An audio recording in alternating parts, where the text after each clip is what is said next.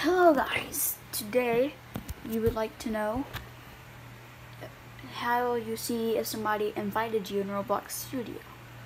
Well, to see if somebody invited you, or yeah, so you just, oh, pretend I'm on, pretend you, you have this page. Go to My Games, go to Share with Me. Look, I have a game share with me. Just click it. This click one. And you just click it. You just go there. And just roll. Yep, you just go there. Easy. Goodbye.